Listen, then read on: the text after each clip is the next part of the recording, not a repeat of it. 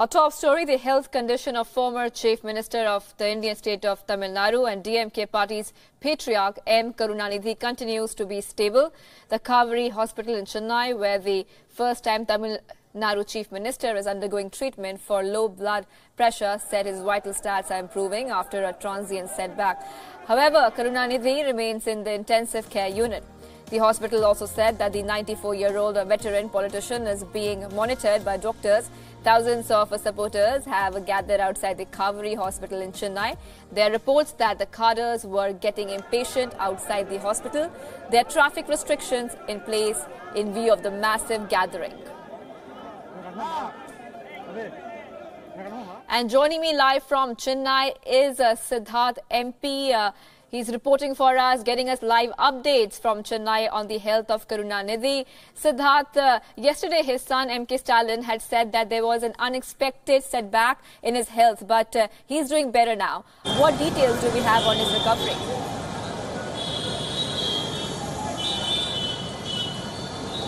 Yes, the latest update that we received was last evening, late last evening at about 10 p.m. where the hospital issued an official statement saying that there was a sudden dip in his health condition, but then he's being provided expert medical care round the clock. And then after that uh, brief, after that brief uh, illness, he's again back to normal, they say, and then they're saying his vital signs are now close to normal.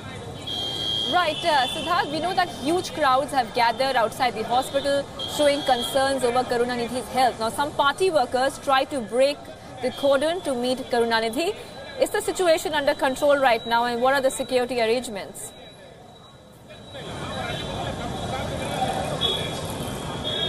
Yes, right now things seem under control, but however, there are a lot of party cadre, about several hundreds of them who are gathered here, uh, waiting to actually meet their party leader and to understand what is his health status. But the situation was much worse last night when several thousands of party cadre were gathered here and they tried to break the cordon and there was a mild skirmish that they had with the police. So last night the crowds were uh, not so much under control, but now things seem to be under control because there's a large posse of policemen gathered here and all of them are trying to control the crowd. And since this also happens to be an arterial stretch of road, which is very close to the Marina Beach. It uh, is also quite likely that today the crowds will be much lesser as there are several cordons around this location.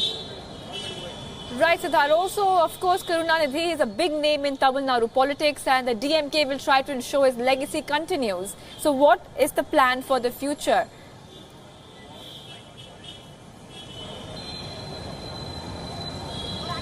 Well, uh, the future plan, anyway, uh, DMK's M. Karunanidhi, although he is India's senior most politician, he has been uh, wheelchair ridden for the last three, four years, which has meant that he is totally outside of active politics. And the working president of the party, that is his son, M.K. Stalin, has been taking the lead in all party-related activities. But again, this is a huge setback for the DMK as well as Tamil Nadu because it was only in uh, 2016 that uh, J. Jayalalitha, the sitting chief minister, had expired. And this also means that it is almost the coming to an end of the Dravidian era of politics. And then the experienced and the veteran leaders of Tamil Nadu are slowly going out of active politics. Right, Siddharth. Thank you for joining us live. Uh, Siddharth MP there, uh, joining us live from Chennai, getting us the latest updates on the health of uh, DMK patriarch Karunanidhi. And we'll be tracking that story very closely as it develops further.